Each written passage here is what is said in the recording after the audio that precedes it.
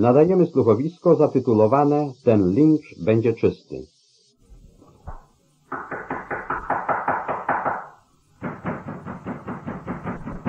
Jeff? Coś się stało. Wstawaj, Jeff. Wstawaj mi w tej chwili. Jeff, coś się stało. Co się stało? Przecież jest noc. Która to godzina? Wszystko jedno, która. Obudź się, kiedy mówię do ciebie. Człowiek ma prawo do snu, choćby nie wiem jaki urząd pełnił. Obudź się, Jeff. Obudź się i wstawaj. Jeżeli to ktoś uciekł z aresztu i, i któryś z dyżurnych zawiadamia mnie o tym teraz w nocy, to ja... Jeff, przestań się wykłócać. Nie czas teraz awanturować się z dyżurnymi ani z nikim innym. Musiało gdzieś stać się coś złego. Teraz wszystko jest możliwe. Czy to ty, Bert? Tak, to ja. Nie chciałem budzić szeryfa, ale pomyślałem sobie, że może lepiej to zrobić. Bert? Czy nie wiesz, że ja muszę się wyspać? Także mam stać rano wypoczęty, jeżeli w nocy przerywacie mi wypoczynek. O co chodzi? Bert, czego chcesz od mego męża? Niech pani mu powie, że byłoby dobrze, gdyby się zaraz ubrał i zeszedł na dół. To bardzo ważna sprawa. No, to są przyjemności życia politycznego. Wszystko jest ważne, dopóki się temu nie przyjrzeć z bliska. A kiedy się przyjrzeć, okazuje się, że ta ważna sprawa mogłaby sobie spokojnie poczekać. Przestań zrzędzić, że masz wstać i ubrać się. Czy słyszysz? Niech to wszyscy diabli wezmą. Dajcie mi święty spokój. Szeryfie, niech pan lepiej zaraz zejdzie na dół. Niech pan zejdzie szybko. Ale co się stało, Bert? Zdarzyła się jakaś awantura w okolicach Clever Branch. Jakiś czarny wpadł tam w tarapaty. Cała gromada białych wyruszyła, by go szukać. Kiepska sprawa, proszę pani. Jeff, ty słyszałeś, co Bert powiedział? Ty słyszałeś? Postarzałem się grubo przedwcześnie przez ten mój urząd polityczny. Jestem już tylko starym idiotą, niczym więcej. Ech, trzeba wstawać. W takiej sytuacji najlepiej będzie, jeżeli pojedziesz zaraz łowić ryby na wybrzeże Potoku Pańskiego. Niech to diabli wezmą. No, no, Jeff, postaraj się opanować troszkę. Szeryfie, niech pan już schodzi. Oni gotowi lada chwila złapać tego murzyna, którego szukają. Idź na dół i zaczekaj na mnie. Zaraz zejdę i zobaczę, co się da zrobić. Nigdy nie było dla ciebie bardziej niż teraz wskazane pojechać na ryby. Niech to piekło pochłonie. Przez 11 lat pracowałem jak dziki osioł, żeby uniknąć uwikłania w polityczne spory, móc się utrzymać na tym urzędzie, a ten wypadek może doprowadzić do rozłamu przy następnych wyborach. Ale Jeff, Dlaczego mnie męczysz właśnie teraz, kiedy muszę się dobrze namyśleć, jak z tego wybrnąć? Jeff, mówię to tylko dla twojego dobra. Pozwól, niech ludzie załatwią to między sobą. Bo jeżeli nie znikniesz z tej okolicy i nie pojedziesz łowić ryb na trzy albo cztery dni, to będziesz tego żałował tak długo, póki cię ta ziemia będzie nosić. No teraz śpiesz się i ruszaj jak najprędzej nad potok pański. Chciałbym, żebyś ty tak spróbowała i siedzieć przez cały dzień, zanurzając kij w strumieniu pełnym oślizgłych ryb. Moskity zjedzą mnie do połowy, a, a to, co ze mnie zostanie, będzie mnie świeżbić przez dwa tygodnie, to pewnie. Ale równie pewne jest i to, że jeżeli wdasz się w tę historię z tym murzynem, to przepadniesz przy najbliższych wyborach. Ostatnim razem zostałeś ponownie wybrany tylko dzięki temu, że sędzia Benelen potrafił w ostatniej chwili przeciągnąć trochę głosów na twoją korzyść. Jeżeli wmieszasz się w lincz albo w coś podobnego, to nikt ci nie potrafi pomóc w zachowaniu urzędu. O, przy wyborach ludzie są zmienni, jak południowy wiatr w listopadzie. No, no, Jeff, bądź dzielny. A nie zapomnij wziąć płynu od moskitów. To ta sama buteleczka, którą miałeś ostatnim razem. No pamiętaj natrzeć sobie twarz i kark. I, I w ogóle uważaj, że... No jestem.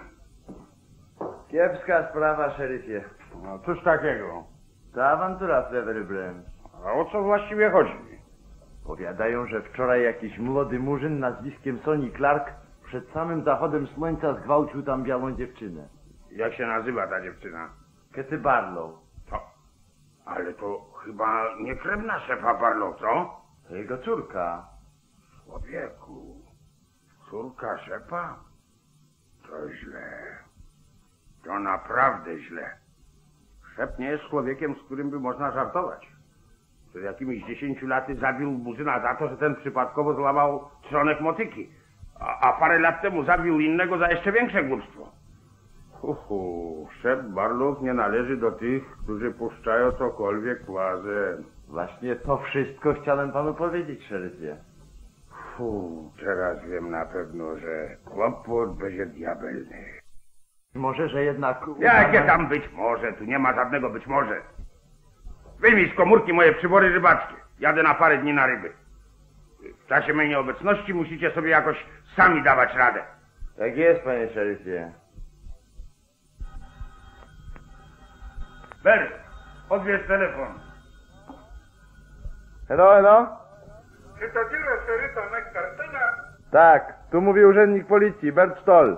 Ludzie, jak wy tam pracujecie w tym biurze, O co panu chodzi? lepiej ściągnąłbyś szeryfa z Byrka i powiedział mu, żeby się zajął pytaniem Murzyna, nazwiskiem Sonny Clark, bo inaczej przyjadę tam do was i sam wykopię szeryfa z łóżka. Sonny Clark musi być złapany i osadzony w więzieniu dla jego własnego bezpieczeństwa. Halo, halo, czy mnie słyszysz? A kto mówi? Jak się pan nazywa? To mówi Bob Watson z Laverbrand. Sonny Clark jest jednym z moich robotników rolnych. Jest on oskarżony o zgwałcenie białej dziewczyny. Córki jednego z moich dzierżawców. Ja tu nie chcę mieć żadnych awantur. Jeżeli Sonny Clark zostanie zlinczowany, jutro nie będzie ani jednego czarnego na mojej plantacji. Będą się bali wyjść w pole do roboty. Cały mój zbiór przepadnie. Nie zapominajcie, że teraz jest najgorętszy czas,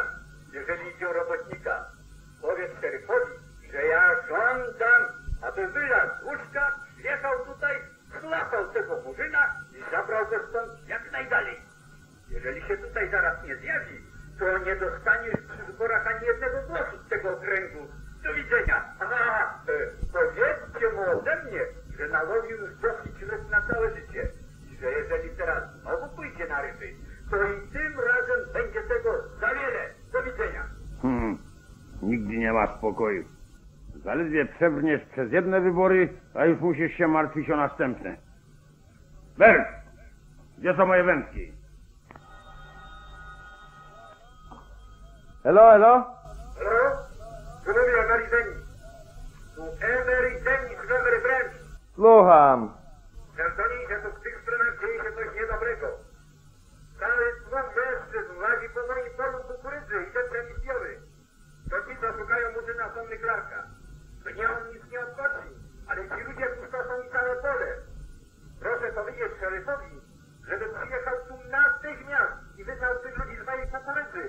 Okręt płaci mu pensję za to, żeby strzegł własności prywatnej. A jeżeli ci ludzie nie wyniosą się z mojego pola, to wezmę strzelbę i będę sam się bronił. Nie mam nic przeciwko ludziom polującym na murzynów, jeżeli to robią ostrożnie. Lecz skoro tratują moją kukurydzę, rozbijają się po niej samochodami, jeżdżą na mułach, to za nic nie odpowiadam. Proszę powtórzyć szerefowi to wszystko, co powiedziałem. Zobaczę, co się da zrobić. Kto to był? Every Dennis. Emery Denis nie ma żadnego prawa telefonować do mnie o tej porze. Emery Denis jest tylko listonoszem. Dosyć mam i bez tego kłopotu, żebym się jeszcze przejmował skargami głupiego listonosza. Bert, powiedziałem ci, żebyś mi przyniósł moją wędkę. Tak jest, szeryfie, tylko ktoś tu znowu na pana czeka. To znowu. Pani Narcyza Kelun. No ta, co od paru miesięcy lazi z tą petycją. Mm, idę do niej. Czego chcesz, Picy? W jakiej sprawie przyszłaś? W sprawie petycji. Ale Picy. Czasy są niebezpieczne, szeryfie. Wiesz, jaki jest świat. Musimy coś na to poradzić. Musimy odesłać wszystkich murzynów do Afryki, skąd przybyli. Rozmnażają się tak szybko, że wkrótce biali nie będą mieli czym oddychać. Murzyni Człowiek taki jak ja, zajmujący polityczne stanowisko, nie może sobie pozwolić... Szeryfie! Nigdy nie przejdziesz przez wybory z naszego okręgu, jeżeli będziesz się upierał przy podobnych poglądach. Jeżeli nie podpiszesz tego podania i nie pomożesz wysłać wszystkich murzynów do Afryki, skąd przybyli, Ależ oni przecież nie wszyscy przybyli stamtąd. Jest mnóstwo czarnych urodzonych choćby tutaj, na miejscu. ja wiem, ale ja mówię o czarnej masie. Obowiązkiem nas wszystkich białych jest odesłać murzynów do Afryki. Dlaczego? Masz tutaj petycję, przeczytaj, to się dowiesz. Dlaczego? Jesteś obowiązany, szeryfie, podpisać to. do prezydenta Stanów Zjednoczonych Ameryki Północnej.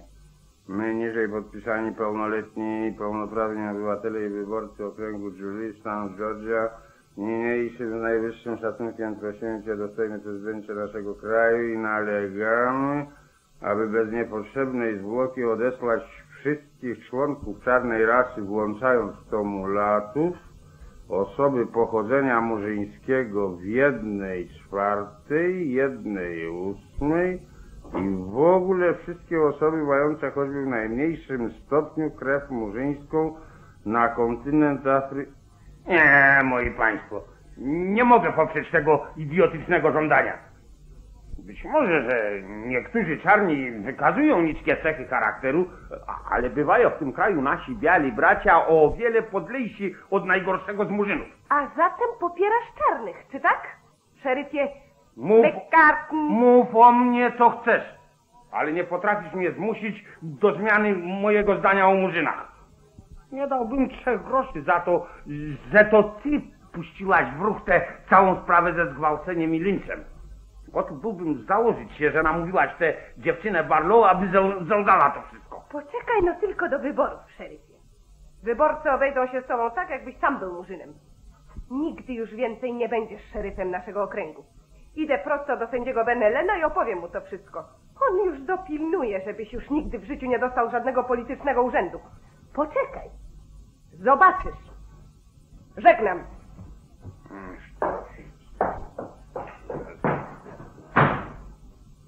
Be! Słucham. Było co nowego? Nic specjalnego. Dzwonił sędzia McEllen. Powiedział, że natychmiast musicie z panem zobaczyć. Człowieku, dlaczego nie powiedziałeś mu, że wyjechałem już nad potok pański? Powiedziałem mu to, ale on chce, żeby pan wrócił do miasta jak najszybciej i natychmiast przyszedł zobaczyć się z nim. Dobrze. Pojadę prędko do miasta i zobaczę się z sędzią. Wy pilnujcie tu, aby wszystko szło jak należy.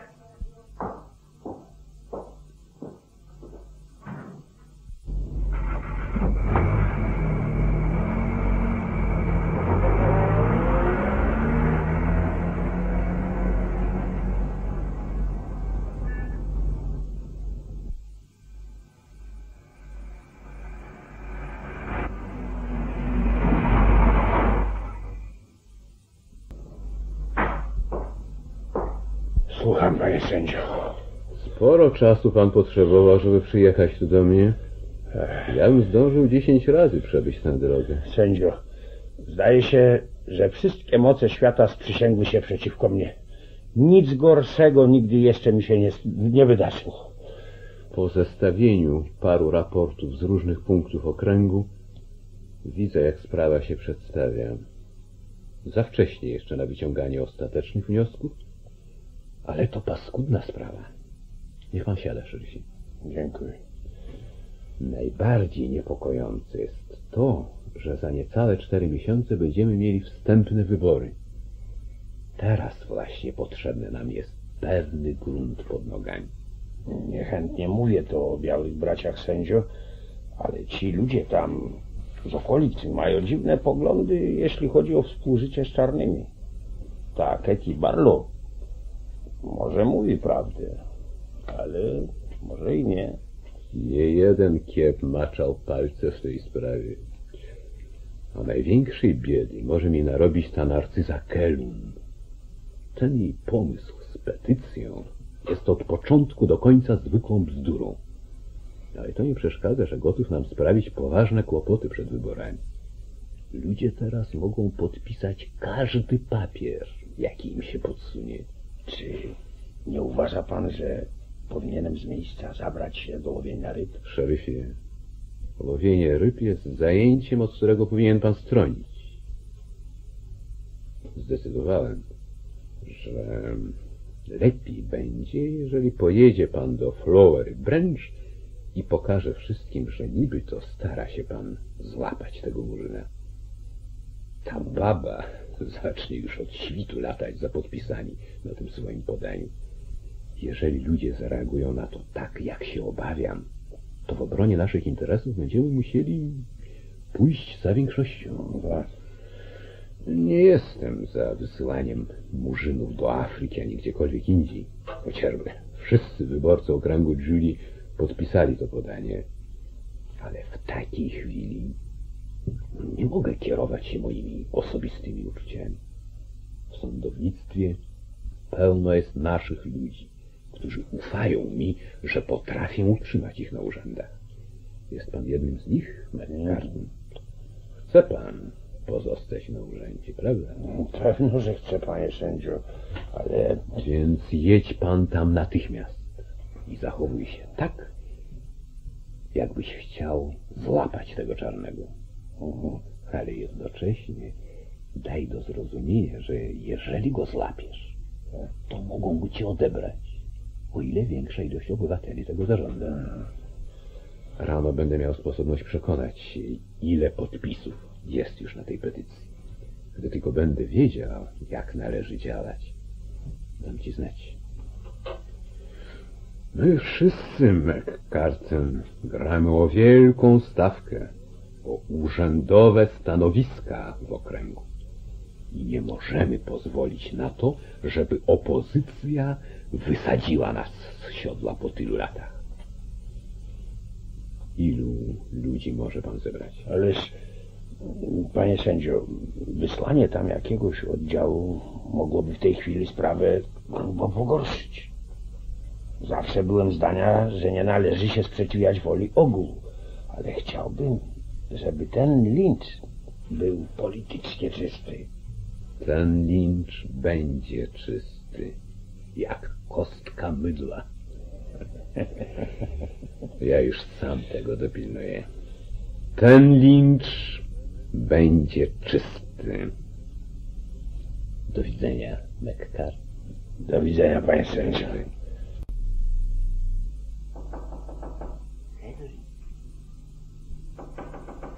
Henry. Henry. Kto tam? To ja. To ja, Soni. Otwórz.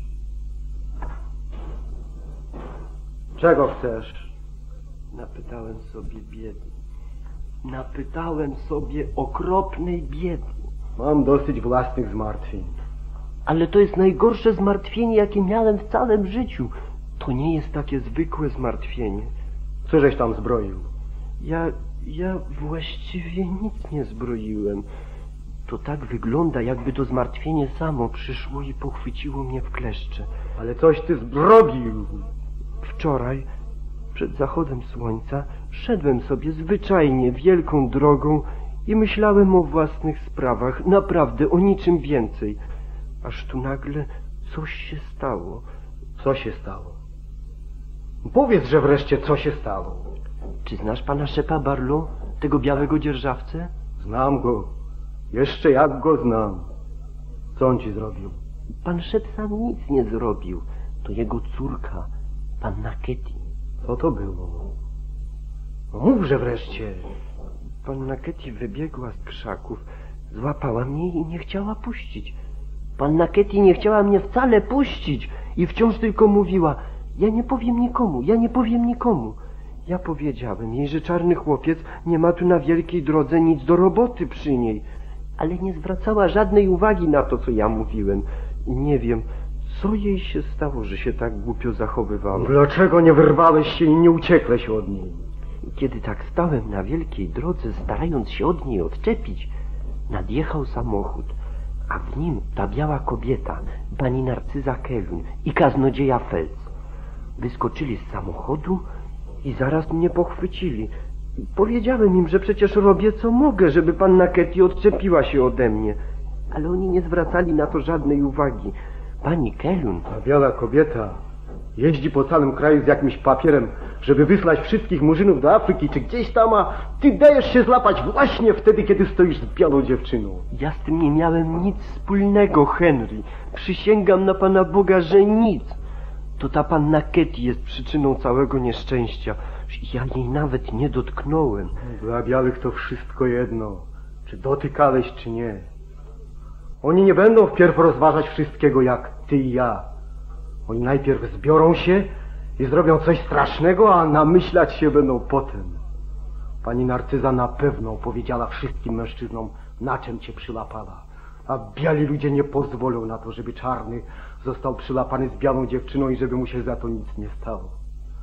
Pani Narcyza chce tylko zapełnić swoją książkę nazwiskami, żeby mieć podstawę do wysłania kolorowych do Afryki. Tej białej kobiecie jest wszystko jedno, jak tam naprawdę było. Wiem dobrze, co mówię, mój chłopcze. Henry, mówię ci, że nic nie zrobiłem tej białej dziewczynie. W ciągu całego mojego życia nie dotknąłem nigdy białej dziewczyny. Nawet nie próbowałem. To wszystko jedno, czy powiesz, że czegoś nie zrobiłeś, czy nie. Bo teraz już tylko biali ludzie zaczną mówić i działać. I nie zatrzymają się, aby wysłuchać kogoś, kto ma czarną twarz. Ja nie wiem, co robić. Bierz nogi za pas i jak najszybciej uciekaj stąd. Uciekaj tak długo, aż dojdziesz tam, gdzie będziesz czuł, że jesteś bezpieczny. Tu w całej okolicy nie ma już miejsca dla czarnego, którego przylapano z białą dziewczyną. Ja chcę tu zostać i pracować przy bawełnie i przy kukurydzy. Ja nie chcę iść tak daleko. Gdyby się zapytali panny Ketty, to na pewno powiedziałaby im, że ja nic z tym wszystkim nie miałem wspólnego.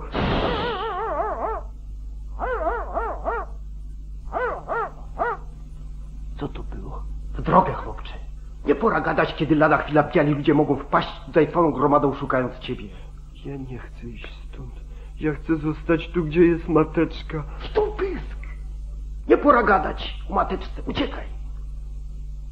Czy powiesz babce ode mnie, że ja nic nie zrobiłem, Henry? Naturalnie przy pierwszej sposobności jej powiem. Ale teraz nie ma już czasu na nic. Idź, już, idź! Dlaczego nie idziesz, chłopcze? Jeszcze jest czas, żebyś ukrył się gdzie dobrze. Jestem głodny. Ty doprawdy uczepiłeś się mnie, jak nowonarodzone ciele wymienia starej krowy. Czy ogłupiałeś do reszty? Jestem głodny. Dawno już nic nie jadłem. Nie będziesz potrzebował jeść, jeżeli dasz się złapać białym. Umarli nie czują głodu. A masz tu kawałek chleba. To ci na razie wystarczy. Idź już, idź! Idę już, Henry. Byłem bardzo głodny.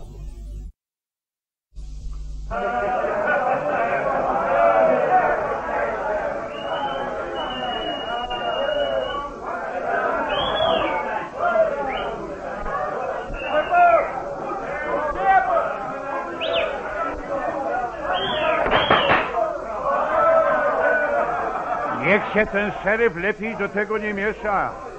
To niezdrowo dla niego kręcić się tutaj. Chciałem dopomóc w polowaniu. Polowałem już nieraz na czarnych i nie chciałbym stracić tej okazji. To swój człowiek. Znam go od dawna. Ostatni raz polowałem na czarnego jakieś trzy lata temu. Powiesiliśmy go wtedy w okręgu Chiny. Nie tak łatwo było go złapać, możecie mi wierzyć. Szukaliśmy trzy dni i trzy noce, zanim znaleźliśmy jego ukrytego w bagnach. Było to właśnie mniej więcej o tej porze roku. Możecie polegać na szefie Berlow. Nie wiem, gdzie on teraz jest, ale gdziekolwiek jest, ja trzymam z nim. Może być, że już się dowiedział, gdzie się ten czarny ukrywa i wyruszył sam na lowy. Chciałbym już ruszyć. Nie ma sensu stać tu całą noc bezczynnie koło ognia. To córka szefa wszystkiemu winna. Nie wiedziałem już, że tak wyrosła. Myślałem, że jest jeszcze za młoda, żeby lecieć na mężczyzn. O, już dorosła dziewczyna i zuchwała! Spójrzcie tylko na nią. Hej tam, Keti! Keti, jak to tam było? Wziąłbym sobie bardziej do serca, gdyby to jakaś inna kobieta została zgwałcona. Słyszałem, że Katie Barlow rzeczywiście ma nie najlepszą reputację. I jakoś trudno traktować poważnie ten wypadek. Nie spotkałem tu jeszcze nikogo, kto by wiedział coś o niej. To dziwne. Żyła tutaj cały czas, a nikt nie miał z nią nic do czynienia. Bo nie pytałeś właściwych ludzi. Mnie na przykład nie pytałeś o nią wcale. Czy zauważyłeś kiedy coś takiego? Zauważyłem. Ostatniej jesieni zbierałem na polu o jakieś trzy i pół mili stąd bawełnę. Było nas tego dnia na polu 35 35 do 40 osób.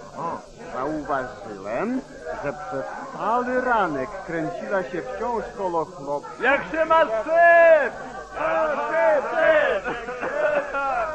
Naradzaliśmy się i chcemy ci zadać jedno pytanie. No. Nic nie mówiłeś o tym wszystkim szeryfowi, prawda? Do diabła, nie. A więc na to czekamy. Tylko patrzeć, jak się szeryf zjawi z psami i jeżeli się nie ruszymy i pierwsi czarnego nie złapiemy, sprzątnie go nam sprzed nosa. Dopóki ja żyję, żaden szeryf nie dotknie tego czarnego. Brawo, szef! A wielu, wielu ludziom znudziło się czekać, więc podzielili się na grupki i sami poszli go szukać. Bośmy nie przyszli tu na potańcówkę, tylko na lincz. Chcesz nam przewodzić, to przewodź se. Ja prowadzę całe to polowanie. Jeżeli się to komuś nie podoba, to może sobie iść do diabła. Prowadzę je tak, jak mnie się podoba. To jest najnędzniejsze polowanie na czarnego, jakie w życiu widziałem. Wszyscy się kłócą, a czarny tymczasem wziął nogi za pas i zwiewa co sił. W taki sposób nigdy go nie złapiemy. To nie jest polowanie na czarnego. To ordynarna pyskówka. Ja kieruję tym polowaniem. Kto chce złapać czarnego, niech idzie za mną. Chodźmy do osady murzyńskiej zamieszkałej przez robotników Boba Watsona. Prędzej! Otwierać! Nie słyszysz? Otwierać, prędzej otwierać! Jak się nazywasz, czarna mordo? Łukasz. Lukasz. Jaki? Łukasz Botomli, proszę pana. Gdzie mieszka ten Sonny Clark? Kto, kto taki, panie? Słyszysz mnie, ty czarny? Odpowiadaj natychmiast! Sonny Clark mieszka ze swoją babką, mateczką Taliaferą parę kroków stąd. Za drogą, biały panie. O, proszę łaski pana. W którym domu? O, dwa domy dalej, po drugiej stronie drogi. Ale gdzie on jest teraz? No, Gdzie on się ukrywa? Ja nic, ja nic nie wiem o sonnym, proszę pana. Ja nic nie wiem. No. Czy słyszałeś, że on wczoraj wieczorem zgwałcił białą dziewczynę? Słyszałeś? Słyszałem, jak o tym mówili, ale nic o tym nie wiem. Nie Nie widziałem sonniego od przedwczoraj, to jest, to jest prawda, biały panie. Odwróć się, murzynie! Proszę pana, biały panie! Nie, nie, nie róbcie tego! Nie mam mnie za co bić, ja nic takiego nie zrobiłem! Jesteś murzynem, czy nie jesteś? Biały panie, ja nic nie zrobiłem! Naprawdę, biali ludzie, o! O! Milcz, czarna mordo! Albo doprowadzisz mnie do takiego stanu, że takie cielanie sprawi, jakiego jeszcze żaden czarny w życiu nie dostał! Biali ludzie! O, masz! Odwróć się, jak ci powiedziałem! Oj, oj, biali ludzie, proszę, miejcie litość nade mną. Oj, Jaki chyba czarny! o, biały panie, proszę, biały panie. O, Halo, panie szef! Coś się tu blisko pali! rzeczywiście, pali się. Gotowi całą osadę puścić z dymem. Kto podłożył ogień pod ten kurnik? Nie złapiecie czarnego włócząc się podpalając chałupy! Bo już najwyższy czas powiesić znowu jakiegoś murzyna. W zeszłym tygodniu byłem w sklepie i niech mnie diabli wezmą, jeżeli jakiś czarny baran, który tam przyszedł, nie miał w kieszeni więcej pieniędzy, niż ja miałem przez całe lato. Zarabiają tyle samo, a nawet i więcej niż biali. Co u diabla? Przecież to jest kraj białego człowieka. Nie ma czasu na gadanie! Chodźmy do innych chalup! Chodźmy!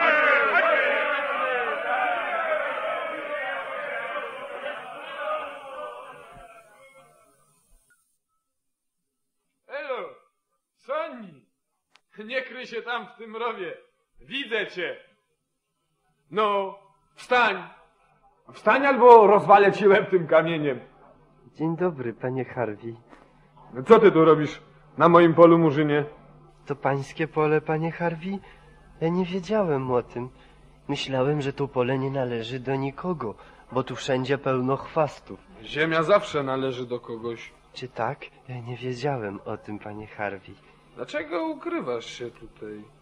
Czemu nie jesteś w domu przy pracy? No przecież ty jesteś robotnikiem Boba Letsona. Tak, proszę pana. Ale jakoś nie mogę dzisiaj pracować. Nie czuję się całkiem dobrze, panie Harvey. Tak? A może ty co przeskrowałeś? Panie Harvey, ja nie zrobiłem nic złego. Przysięgam, że nie. A jak to tam było z tym zgwałceniem? Uważasz, że to nic złego? To pan wie o tym, panie Harvey? Naturalnie, że wiem. Wszyscy w całym okręgu wiedzą już o tym. Przeczytali w gazetach. W gazetach? Było o tym w gazetach? Ja nie zrobiłem nic podobnego, panie Harvey. Coś jednak robiłeś. Ja nie zrobiłem tej rzeczy, o której pan mówi.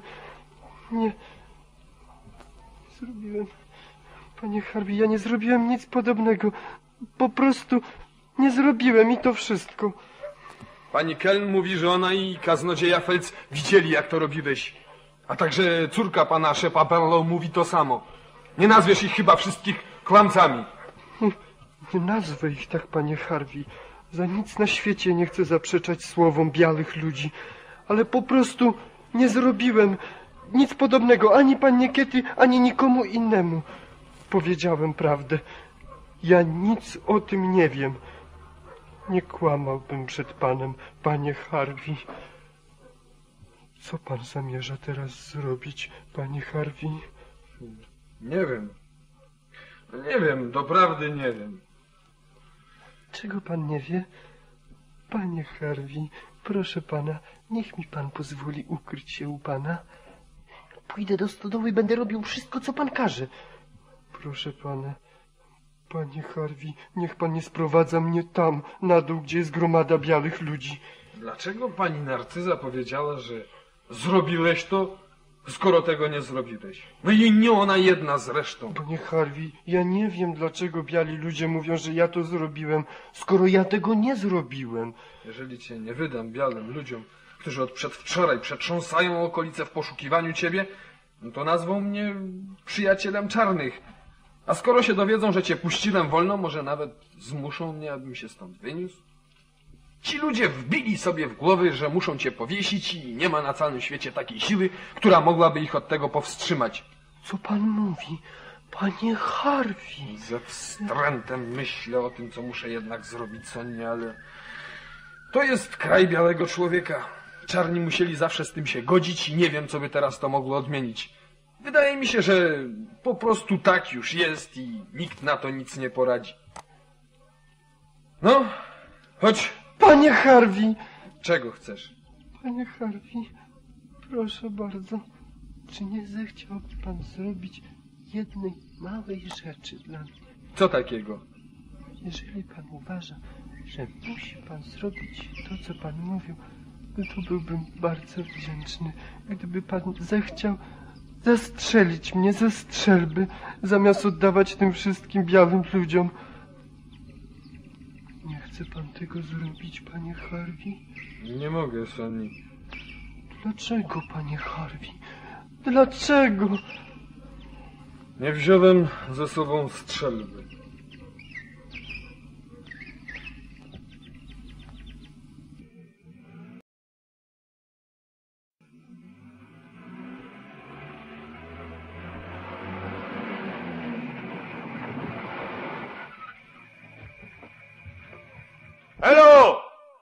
Co tam, znaleźli go? Tak jest, panie szeryfie.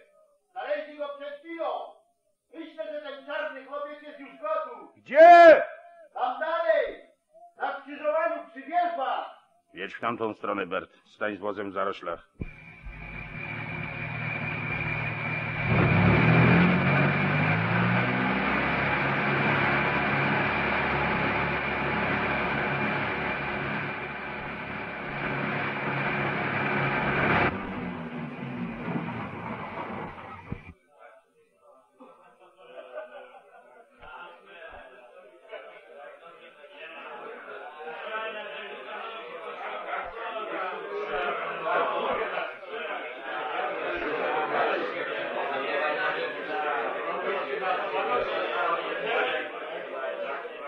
Zdaje się, że skończyli z nim, szeryfie. Zresztą nie możemy sami nic zrobić bez pomocy. Może by jednak pojechać do miasta i wydelegować... Teraz już nie potrzeba. Już po wszystkim. Skończyli z nim tak, jak mówiłem. Patrz. Widzisz tam tę gałęź ogoloconą przez kamienie i kule? Nic innego nie możemy zrobić, jak przysłać tutaj sędziego śledczego. A może byśmy zapisali chociaż parę nazwisk na wypadek, gdyby sędzia śledczy chciał wytoczyć proces? Nie. Nie chcę być w tę sprawę wmieszany politycznie. Co to? Chodź pan tutaj. Prędko, szeryfie. Widzi pan? Tam biegnie Hetty Barlow. No ta dziewczyna, przez którą tego murzyńskiego chłopca tam...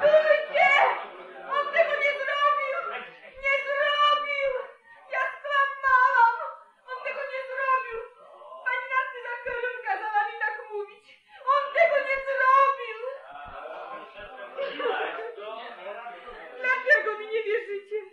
On tego nie zrobił! Nikt tego nie zrobił! To było kłamstwo! Nikt tego nie zrobił! Mówię wam, że to było kłamstwo!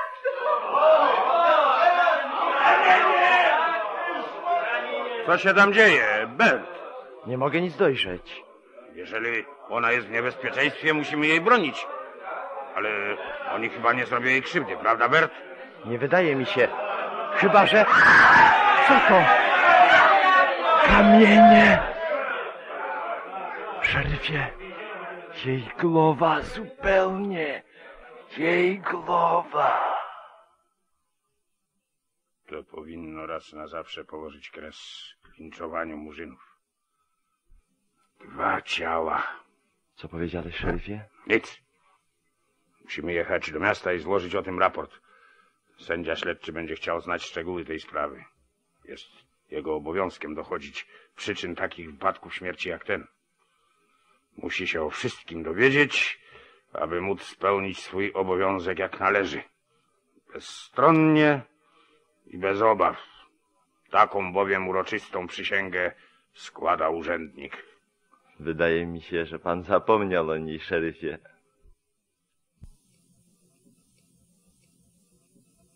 Nadaliśmy słuchowisko Ten lincz będzie czysty, opracowane przez Wincentego Mackiewicza na podstawie opowiadania Caldwella Tarapaty lipcowe z tomu Druga Ameryka, tłumaczonego przez Janinę Laszczową. Wykonawcami byli artyści Państwowego Teatru Dolnośląskiego we Wrocławiu. Jan Wiśniewski jako szeryf Jeff McCarten, Irena Netto jako jego żona Cora, Mieczysław Dębowski w roli urzędnika policji Berta, Edmund Wierciński w roli sędziego Ben Allena, Halina Mikolajska jako misjonarka McCallum, Ignacy Machowski, Bogdan Ber i Jan Nowicki w roli murzynów, Tadeusz Schmidt jako młody farmer Harvey Glynn, Felix Żukowski jako dzierżawca Shep Barlow i Krystyna Ciechomska jako jego córka Katy Barlow. W pozostałych rolach udział wzięli Mieczysław Nawrocki, Ludwik Wytysiński, Witold Kuczyński, Igor Przegrodzki, Henryk Abe, Jerzyk Adamczuk, Stanisław Janowski, Zbigniew Skowroński, Ludwik Kasandro i Ryszard Michalak. Reżyserował Józef Karbowski.